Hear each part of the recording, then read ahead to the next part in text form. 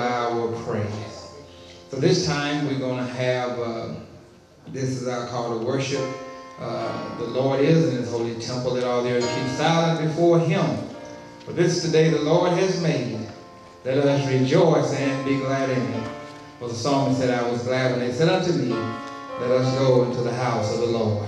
Amen. Amen. So this time we're going to have a, a selection of praise. We're going to ask that you will stand to your feet as we usher in the Holy Spirit today. For as we lift up the name of Jesus. Amen.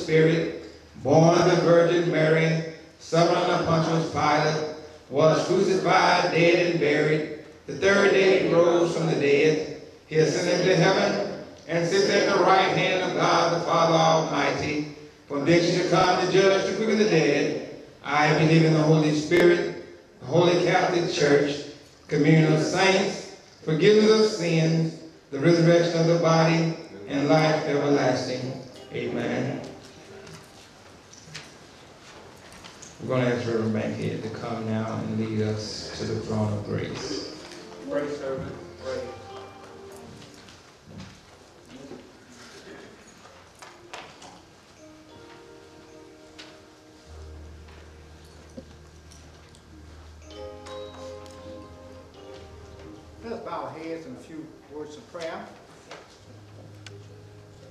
Eternal God, our Heavenly Father, it's again and once more in this life, on this side of the grave, that you have allowed a few of these, thy believing children, to come together in thy holy name. We come first of all lifting up our hands in praise and glory and honor to the Almighty and everlasting God. we thank the Lord for this opportunity Thank the Lord allowing us to see another Mother's Day, even though our mother's not here. Lord, we give you thanks and praise that we have enjoyed a mother while she was here on earth. And remember all the things that she did and how she raised us and us to bring back joyous memories. Lord, goes, if we could just hear mother's voice one more time, we know we will not hear on this side. But one day when we meet together, we'll be able to say, howdy, mother. And then we'll never say goodbye again. Thank you, Lord, for bringing us down to Jackson Chapel one more time safely. Thank you for the loving Jackson Chapel family who have open arms to welcome our servant here. Thank you, Lord, for your, the pastor you have planted over here. As he feeds us your word from Sunday to Sunday. Our hearts rejoice and our hearts do burn with joy and gladness to hear your word. Thank you, Lord, for the assistant here. Thank you, Lord, for all those who are present on the sound of my weak voice. Mm-hmm. Thank you, Lord, for the strength you have given us. We pray, oh God, for those who grieve this morning for the loss of a loved one. Continue, hold your arm around the Baker family.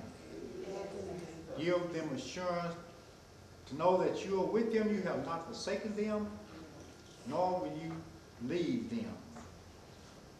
Thank you, Lord, for giving us assurance that one day, that we continue in the faith, and when we quit this walk of life, we'll be in your presence throughout eternity. Bless your servant as he stand before us and break the bread of life, to count, declaring what thus saith the Lord this morning. We know there's something great in store. Then, Lord, help us to receive it with joyful hearts govern ourselves accordingly.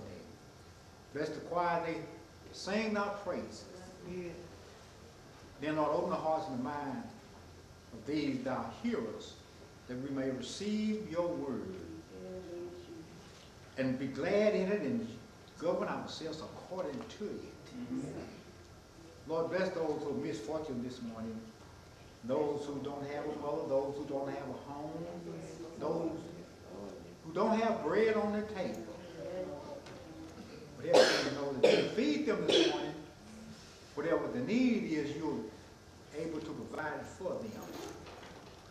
Now keep us throughout this day. Keep us throughout the rest of our lives. In the name of Jesus Christ, our Lord, we do pray. Amen. Amen. Amen.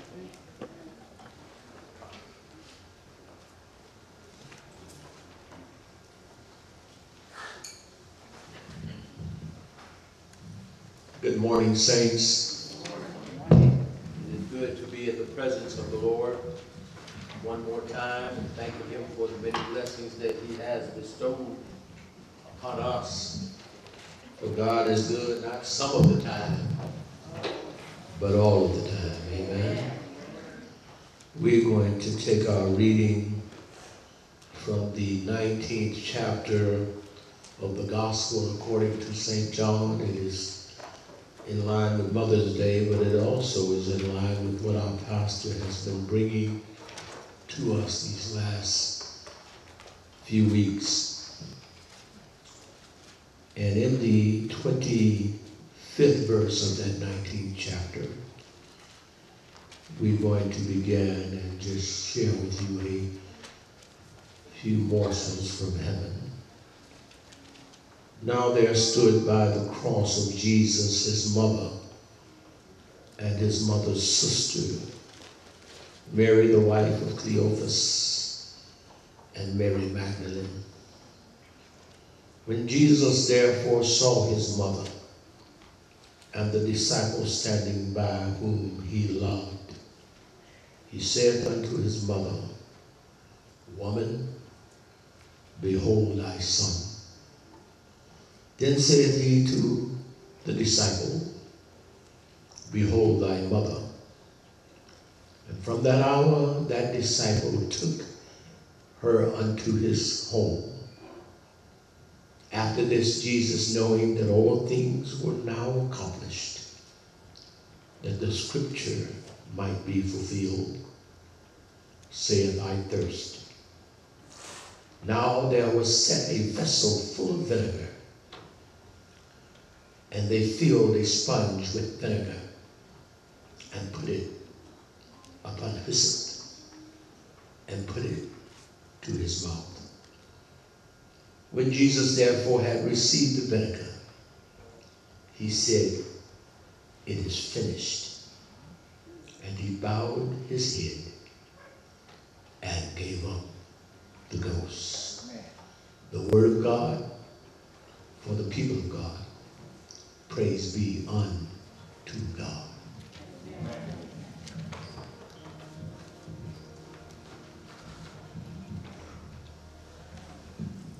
the meanest mother in the world. We had the meanest mother in the world. While other kids ate candy for breakfast, we had to have cereal, eggs, and toast. When others had a Pepsi and a Twinkie for lunch, we had to eat sandwiches. And you can guess our mother fixed us a dinner that was different from other kids had to. Mother insisted on knowing where we were at all times. You think we were convicts in prison. She had to know our, who our friends were and what we were doing with them. She insisted that if we said we would be gone for an hour, we would be gone for an hour or less. We were ashamed to admit it, but she had the nerve to break the child labor laws by making us work. We had to wash the dishes, make the beds, learn to cook, back in the floor, do laundry, and all sorts of cruel jobs. I think she would lie awake at night thinking of more things for us to do. She always insisted on us telling the truth, the whole truth, and nothing but the truth. By the time we were teenagers, she could read our minds. Then life was really tough. Mother wouldn't let our friends just honk the horn when they drove up. They had to come up to the door so she could meet them. While everyone else could date when they were 12, 13, we had to wait until we were 16. Because of our mother, we missed out on lots of things other kids experienced. None of us have ever caught, have been caught shoplifting, vandalizing others' property, or ever been arrested for a crime. It was all her fault. We never got drunk, took up smoking, stayed out all night, or a million other things other kids did. Sundays were reserved for church, and we never missed once. We knew better than to ask to spend the night with a friend on Saturdays. Now that we have left home, we are all God-fearing, educated, honest adults. We're, we're doing our best to be mean parents just like mom was. I think that's what is wrong with the world today. It just doesn't have enough mean moms anymore. Amen. Amen.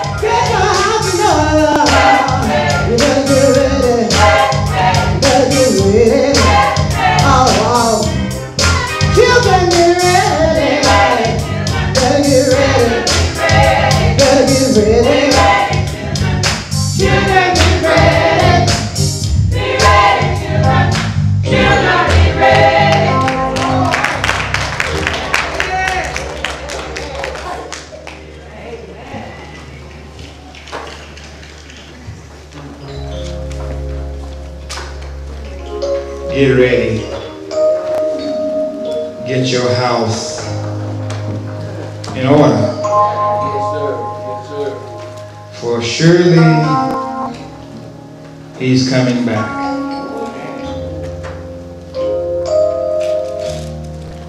We give thanks to God today for what our eyes have already seen, for what we've already heard, in preparation of what we are about to receive.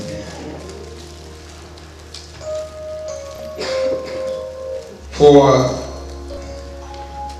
the Bible teaches us that God is a rewarder of those who diligently seek Him. So we're grateful today on this Mother's Day to be able to stand one more time. And how ironic is it that I was standing here, well actually I was sitting there and I was getting ready to stand and and I looked and behold the bookmarker was Sunday, March the 18th, 2018. And it was the time that you celebrated Women's Day.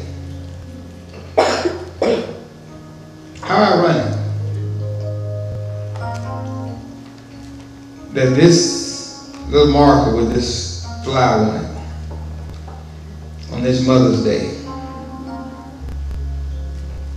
just stared me in the face. So again, I salute mothers. I salute you for everything that you do. I salute you for everything that you've done. And I even salute you for what you're going to do. Because that job never ends.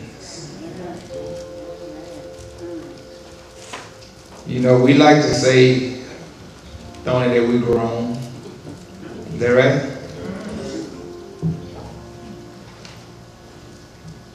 But when we're sick, or when we're in trouble, we still a, a mother's child. Is that right? So we just want to say once again, Happy Mother's Day to all the mothers out there. And we come to now continue our series of preaching from the time after Jesus got up.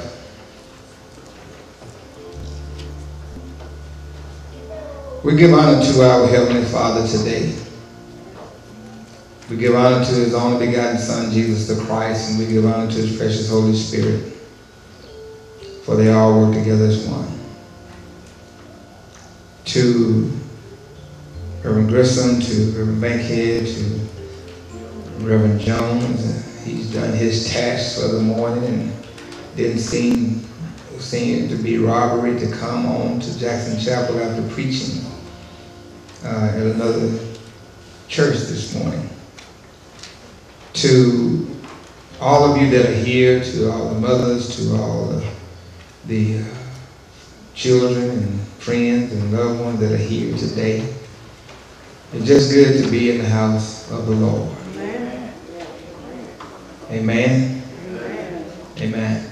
We want you today for just a brief moment to turn your attention to the book of Acts, chapter 2.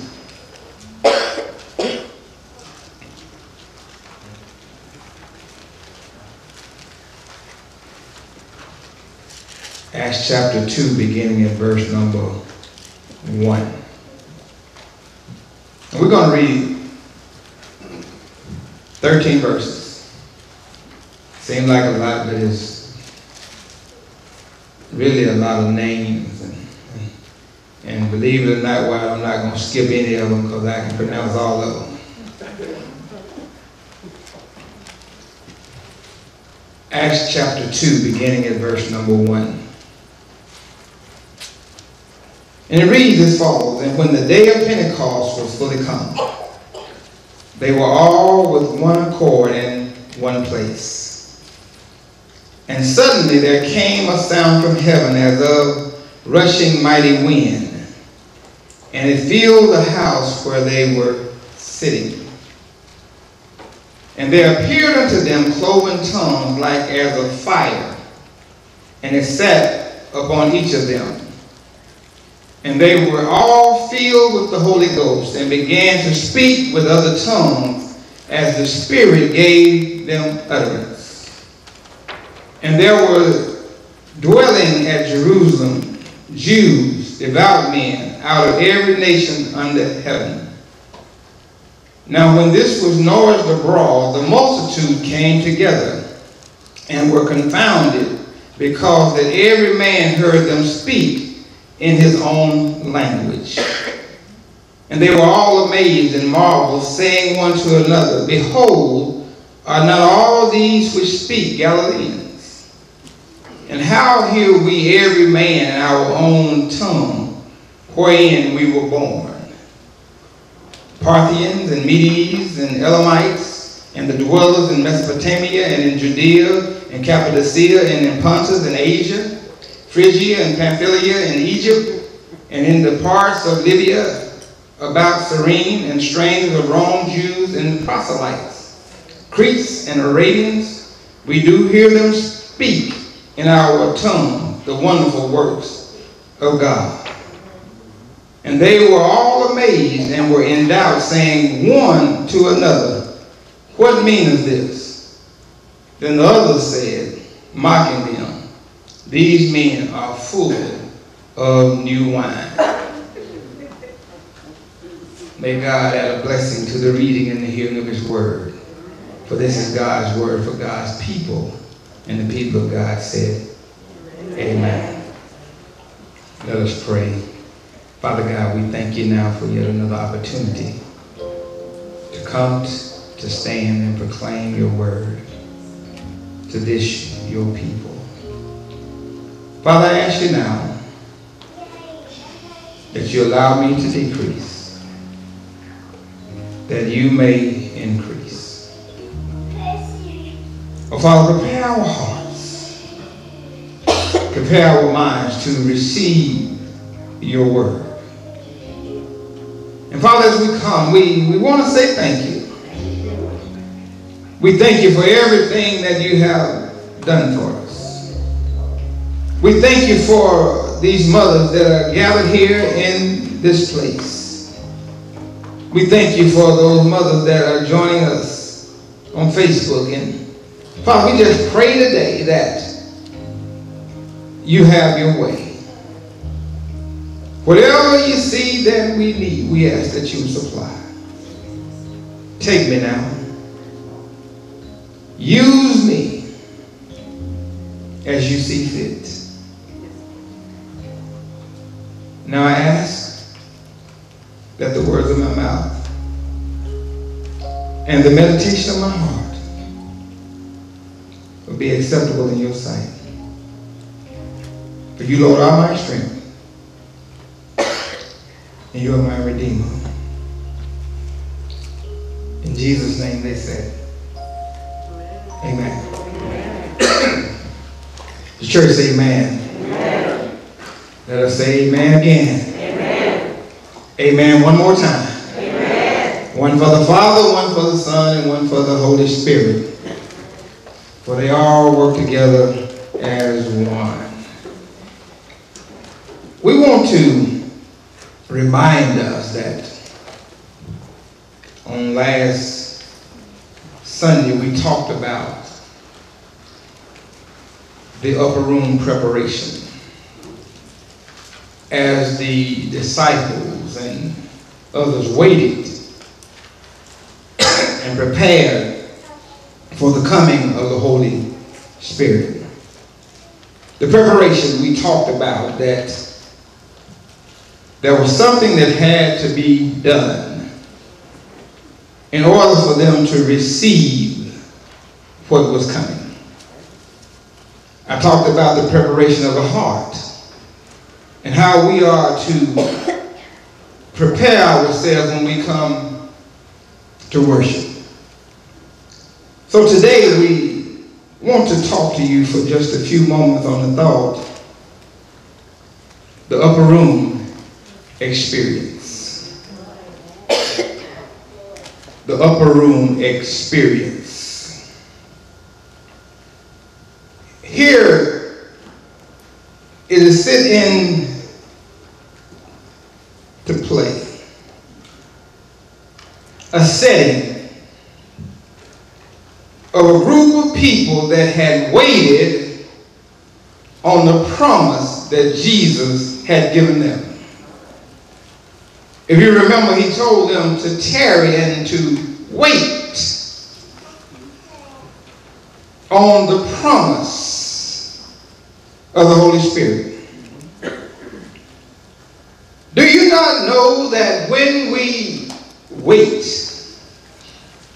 when we are patient, when we dwell, and when we are in anticipation of God's work, God will do a wonderful work. Is that right? He will show up in the midst of these situations and do a work that we could never have imagined. The author here begins this particular text by saying, And when the day of Pentecost was fully come. In other words, when the day had gotten there and uh, it was in full operation. It said that they were all in one place and on one accord. I'm just wondering here that as we're gathered on this Mother's Day, how many of us in this one place got the same mindset? are here for one purpose and one purpose only. Oh yeah, it's okay to celebrate mothers. It's okay to, to acknowledge the goodness of our mothers and everything they have done. It's okay to come and join the show, Mother, uh, our love. But I want us to understand something. When we come together in God's house, God wants to do a work. They were all together in one place and on one accord.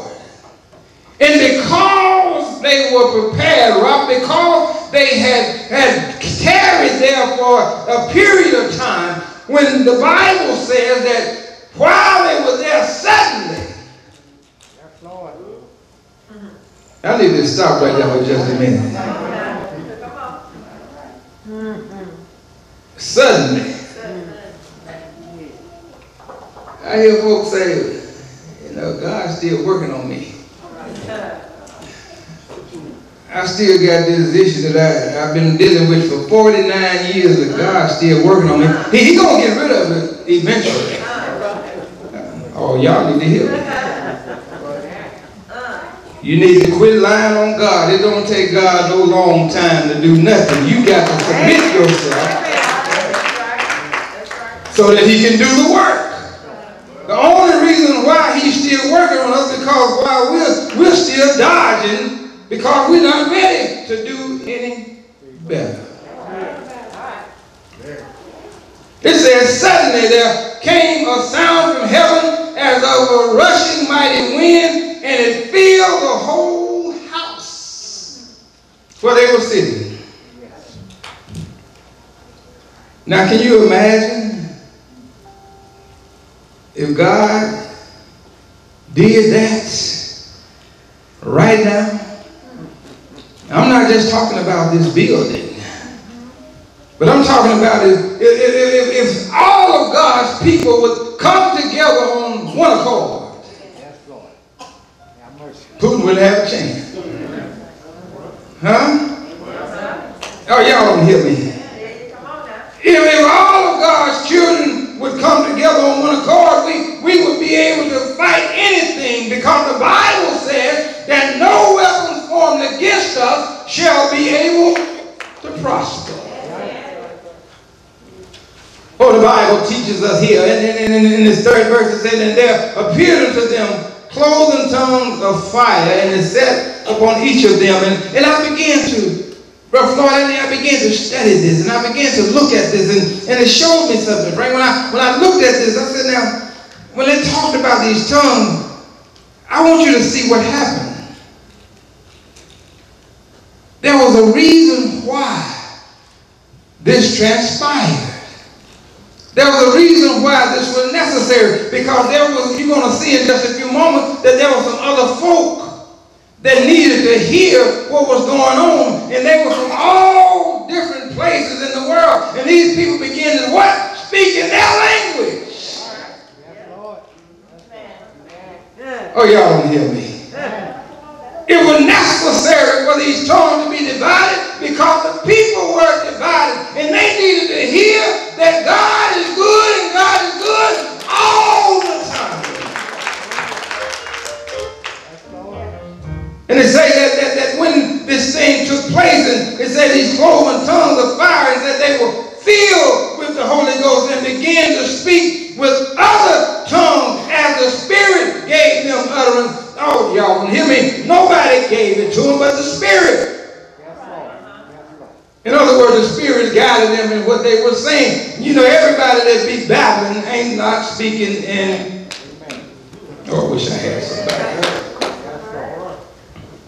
But this upper room experience brought about some changes that we need to be aware of because a lot of people feel like that if you don't do certain things, if you don't do this, you're not saved. If you don't do that, you're not saved. You don't do this, you're not saved. But you ought to do something. I wish I had somebody. All right, all right.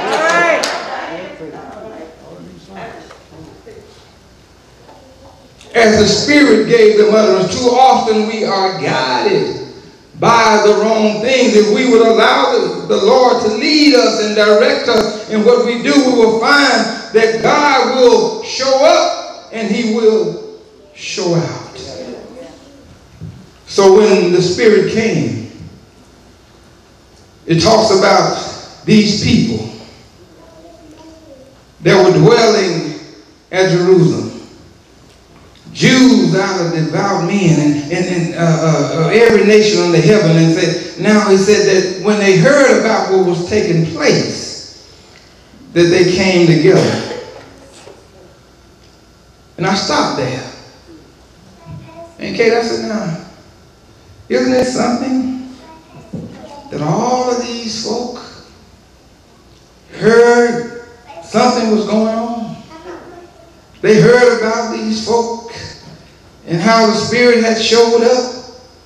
Some came with the right idea. Some came with the wrong idea. Some came with no idea. Oh, I wish I had somebody. Well, But they came. Is that right?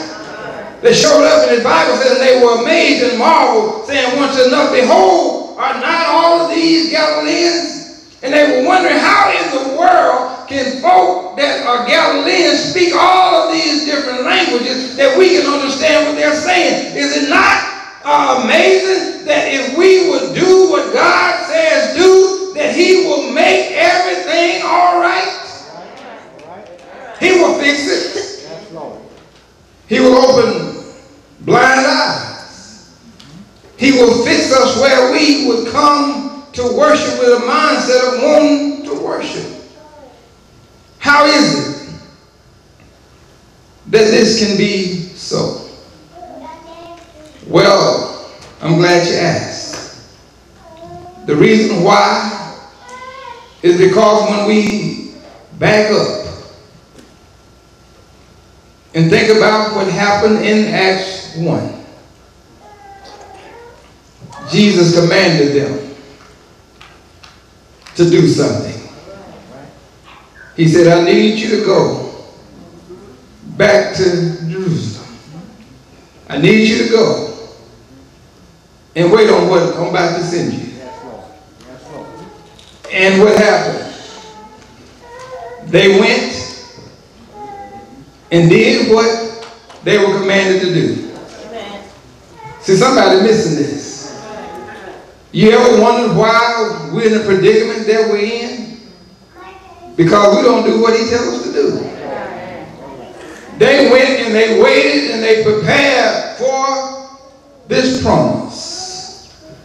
And when we prepare for the promise, when we prepare for what Jesus has already told us would take place.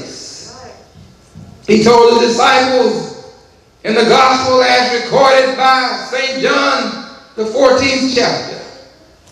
He said, Let not your heart be troubled. But you believe in God, believe also in me. He said, In my Father's house are many mansions. He said, I go to prepare a place for you. And he said, Well, if I go to prepare a place for you, I will come again and receive you unto myself. That where I am, there you may be also. Yes, sir. Yes, sir. See, what it tells me is that he's already given us the promise. He told us not to worry about anything. He told us not to be troubled because of things that are going on in this world. Yes, there are so many things that are happening. People breaking people out of prison.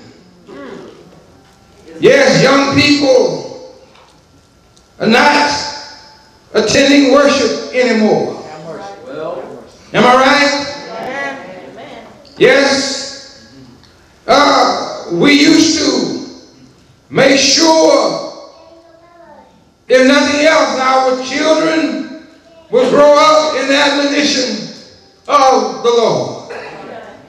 If you remember the, the poem that I read about the meanest mother in the world, some of us can identify to the fact that too many of our children have choices.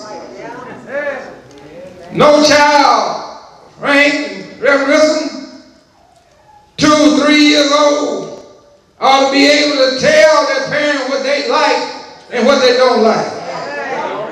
Or wish I had somebody. Uh, they shouldn't be able to do anything they want to do. We didn't know anything, Sister Kate, about timeouts.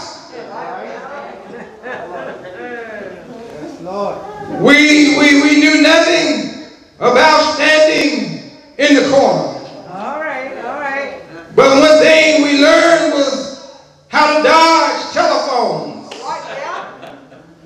And we learned how to go out and try to find the smallest switch Yes, that we could. But we found out that even when we done that, that we had to go get more so they could be tied together to make a bigger switch.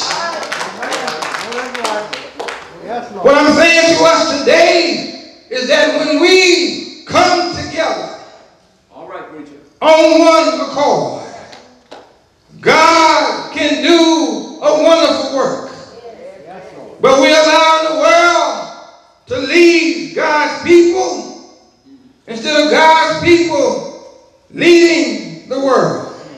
Jesus. Jesus. How the Bible says these Parthians and Medes and Elamites, the people from Mesopotamia and Judea and Cappadocia and Pontus and Asia, Phrygia and Pamphylia in Egypt and in parts of Libya, about Cyrene and strangers of Rome, Jews and proselytes, the Cretes and the Arabians, He said that we hear all this in our own language. But it said, these words the wonderful works of God.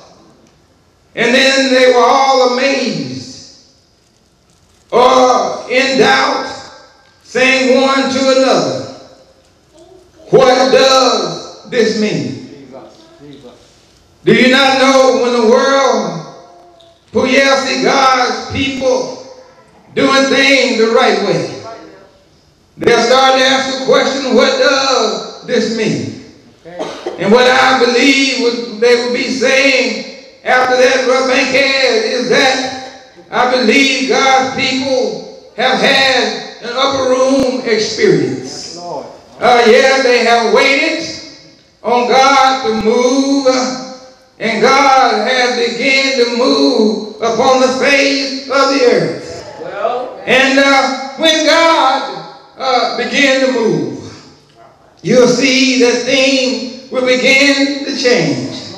When God begins to move, uh, uh, I believe that uh, young people won't be rising up against their parents and trying to tell their parents uh, what to do instead of the parents telling their children what to do. Uh, we will go back to raising our children in the way God would have us to raise them. Uh, what mean of this? Some might say that they are drunk with new wine. well, But uh, what I want us to know today now is that sometimes uh, we need to refer back uh, to an upper room experience uh, because God uh, wants to show up uh, in the midst of our trouble. Uh, ain't God a good God? The reason why they didn't understand what was going on. They didn't know nothing about the Holy Ghost. Uh, ain't God all right? Are you wondering why some people uh, can pat their feet uh, and wave their hands? Uh, ain't God all right? Uh, have you ever wondered why some folk don't mind praise the Lord? Ain't God all right? Because they've had an experience with Jesus,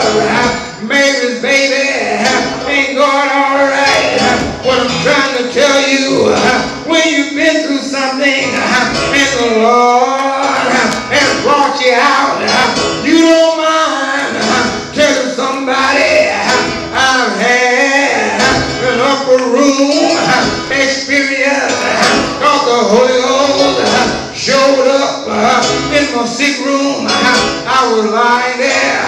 Nobody knew if I would be alive, but I had an upper room experience. Tell me, Peter, what did you say? My Bible tells me that Peter stood up in the midst of the crowd. Said, do you not know it's only 12 o'clock? It ain't drinking Folk uh, not drunk uh, like you think, uh, but what you experience, uh, what you're experiencing uh, is what was prophesied uh, by the prophet Joel. When the Lord said, in the last days, I will pour out my spirit upon all flesh. Ain't God all right? What did he say, Peter? Peter said, the young men had something to do. The young women would have something to do. The old men would have something to do. Ain't God a good God? I'm making ready now. I'm getting ready to leave you alone. But I know something about an upper room experience. Can I get an amen?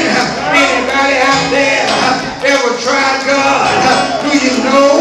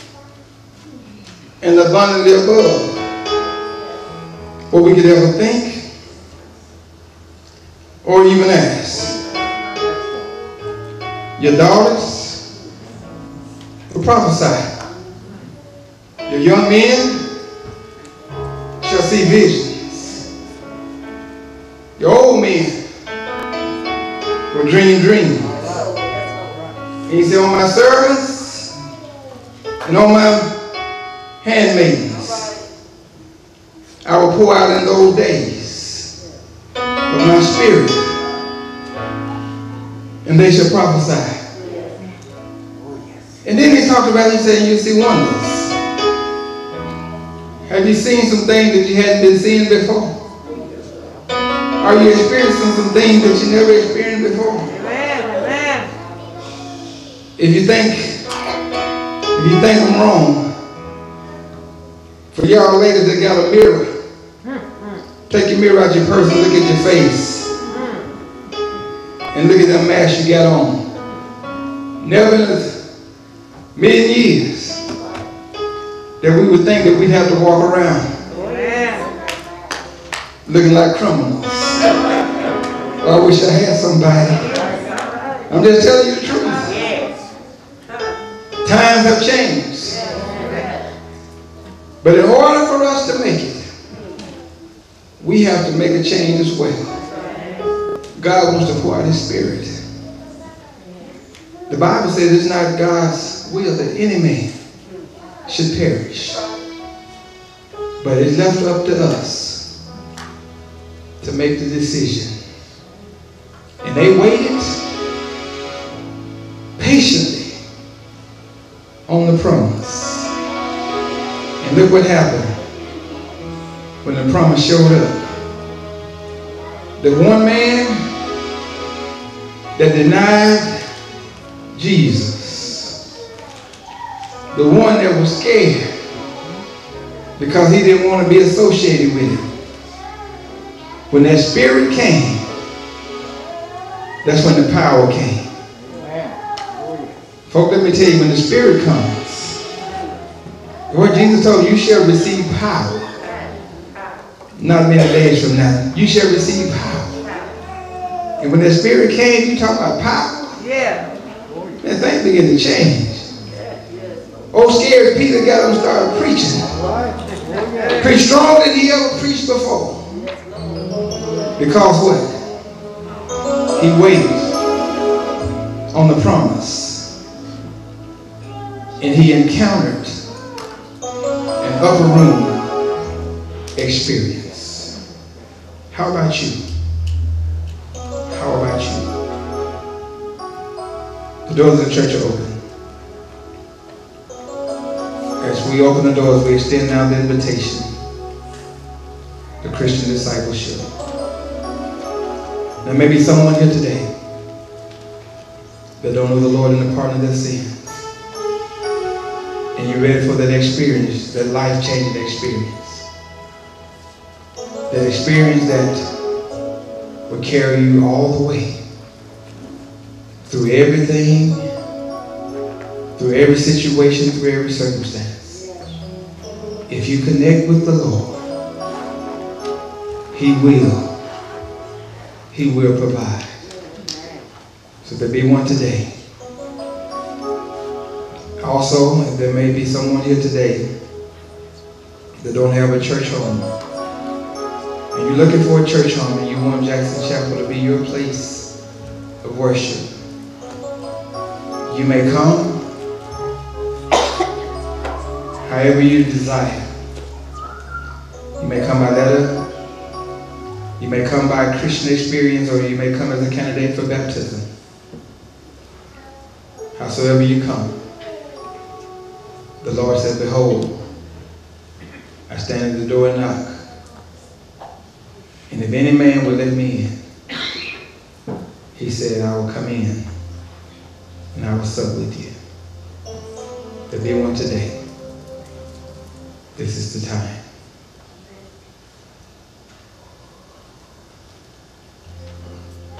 Let us pray. Father, Lord of hosts, keeper and our provider. Father, we thank you now. We thank you for the promise. Because we realize that if he had not come, we wouldn't have the power, the power that we have right now. We realize that if he had not come, there will be many sleepless nights. We realize if he had not come, we wouldn't have a comforter to keep us in perfect peace. Father, we say thank you right now. Thank you, Lord. Thank you. We thank you for everything that you have done for us. We thank you for just a portion of our health and strength. Even though sometimes we're weak, we still realize that you're strong. Even though sometimes we're sick, we realize you're still a doctor in a sick room. Oh, Father, we, even though sometimes we're in trouble, you're still a lawyer that's never lost a case. So we just say thank you now. We thank you for everything that has transpired in this place. And Father, we pray that as we go, we go with the same mindset as was stated by Paul. Let this mind be in us, which is also in Christ Jesus. We thank you for this choir. We thank you for Sister Young and, little Sister Young Yes, Lord. for this presentation today of this Mother's Day. And Father, as we go, let us keep our eyes stayed on you. It's in Jesus' name we pray. The people of God said, Amen. Amen.